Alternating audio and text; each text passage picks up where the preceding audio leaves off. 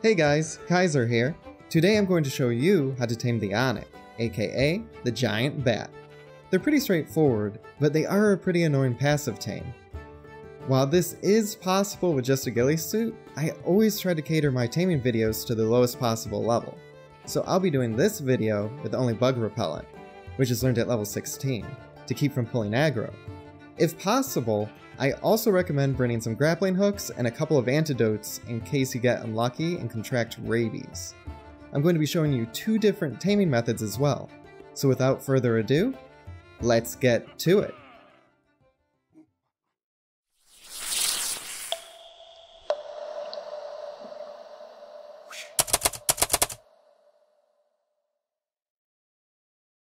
Okay, I'm at the central cave located at 41.5 by 46.9, but if you have another cave that you like that has Onyx in it, feel free to use that one. There's my Argy that I used to get here, and my Hyaenodon that I'm using to store meat in in place of a refrigerator. Now let's apply some bug repellent and look for our Onyx.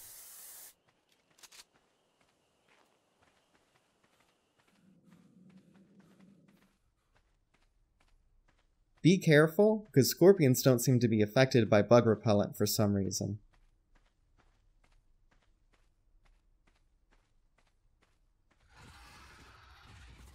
See? Prime example.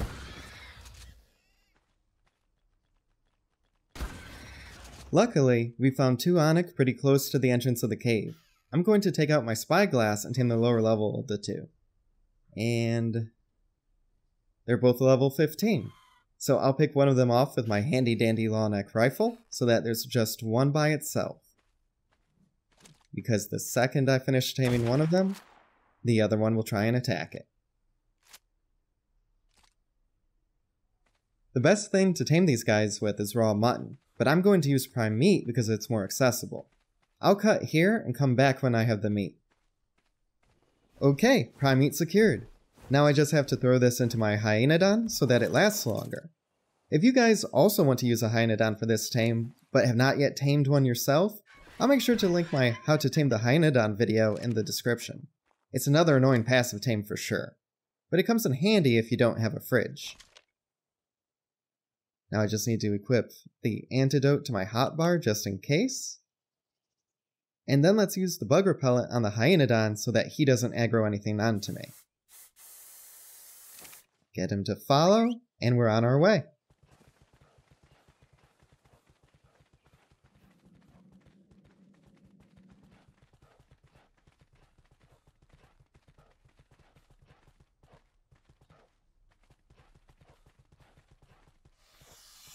Huh. Let's take care of this snake before we try and tame anything. Where is he? Uh-huh. Oh, there he is. There we go. Now, the trick to taming these things is a lot like any other passive tame. Just stay behind them and don't touch them. As soon as you feed them, make sure to back off. There's a 45 second interval in between feeding, but the first interval seems to take a bit longer. I've noticed that it can take anywhere between 2 and 5 minutes for some reason.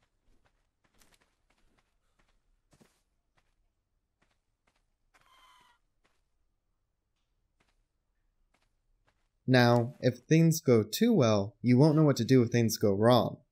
So watch what happens if you don't back away after feeding it.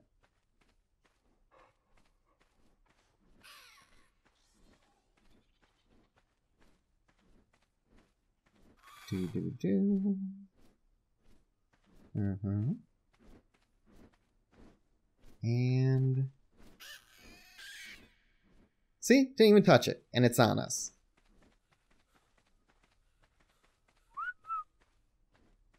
Now you just need to leave its draw distance and come back. I'll cut here and come back in a bit. And we're back with some fresh prime meat and antidote. I checked earlier, and he's hovering too high up for me to feed him, and that's why I brought the grappling hooks. Be careful not to hit him, but you can still hit anywhere around him with a grappling hook, as long as you have the bug repellent on, and he won't pull aggro. Now you just need to keep feeding him like this until he's tamed.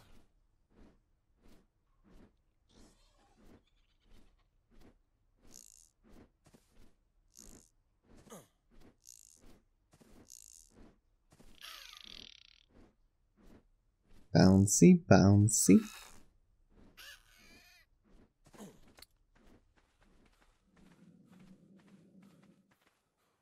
You can generally keep two prime meats on you before they go bad when feeding the Onyx, since the feeding interval is only 45 seconds. Again, I'm using the Hyaenodon because the prime meat lasts a lot longer in its inventory when it has the meat pack on.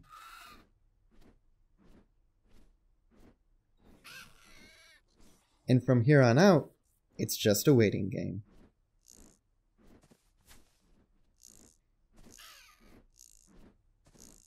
And there we go. I'm gonna name him Batty. And that's it for the first taming method. Now I'm going to cut away and show the second taming method. This method involves the taming bin. You're going to need one foundation, eight walls, a ceiling, and two door frames. Make sure to have two ladders to help you get on top of your taming bin as well. This taming method isn't really unique, and I've seen plenty of other videos use a similar method. However, everyone seems to make their taming bin a tad bit different, and here's how I make mine. Okay, just place your first foundation. Get the door frames and walls on my hotbar. From here on, you place two door frames across from each other, and then build the rest of the structures with walls going too high. Make sure that you don't place a wall on top of the door frame you're going to be running through when you lead the Onyx into your trap. Place a ceiling on top, and you're done. Now, we just need to find an Onyx.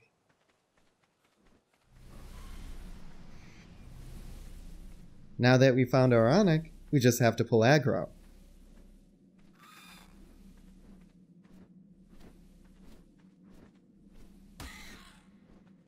Huh. He might be bugged. These guys can be pretty buggy. Let's try hitting him with the grapple.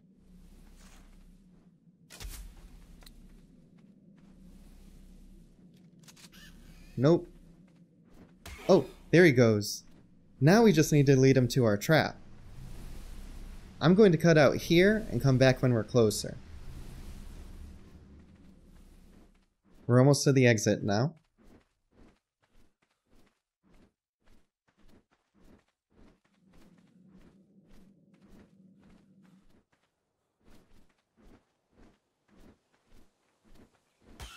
Ow. Now let's run him into our trap. Accidentally used the antidote. Now seal his exit with a wall, and replace the door frames with walls as well.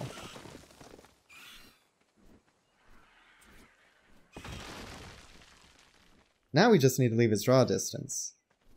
As usual, I'll cut here and come back.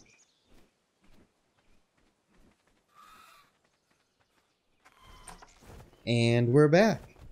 And we've refreshed our bug repellent so that we don't pull aggro. Very important.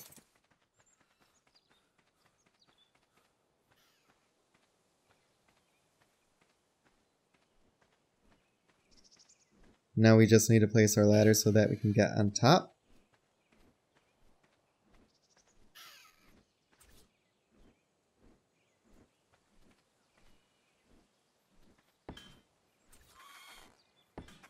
Testing to make sure I can climb that second ladder.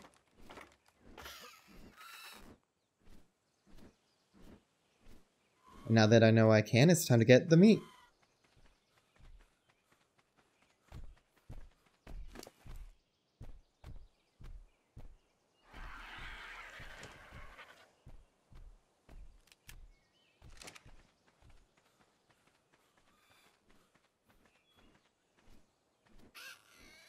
Just need to climb up, and you can feed them through the ceiling.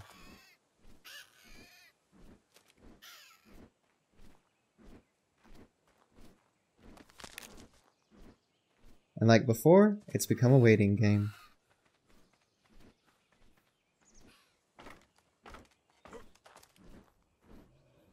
Got more meat.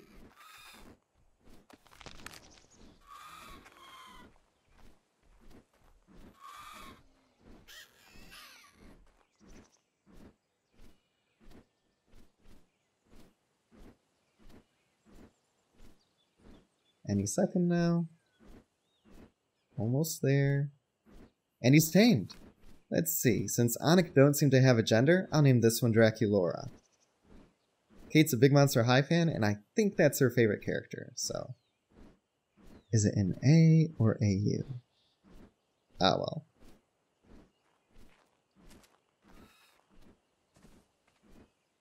Now, since I have Structures Plus installed, I can just pick these walls up. But if you're playing vanilla, you'll have to destroy them. Either way, now you've got yourself an Onyx.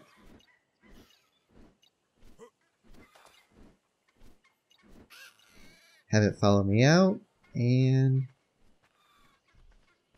What the... What? Where's it going? Have I mentioned that the Onyx is a buggy mess? If I haven't, it's a buggy mess. Let's see. Get down here. Oh, she's gone forever. So today we successfully tamed the Onyx. Unfortunately, Draculaura is no longer with us. But today's video wasn't about me taming a couple of bats. It was about me showing you guys how to tame a couple of bats as easily as possible. And I think we accomplished that. Normally, I'd show off their abilities as well, but these guys just fly around and attack things.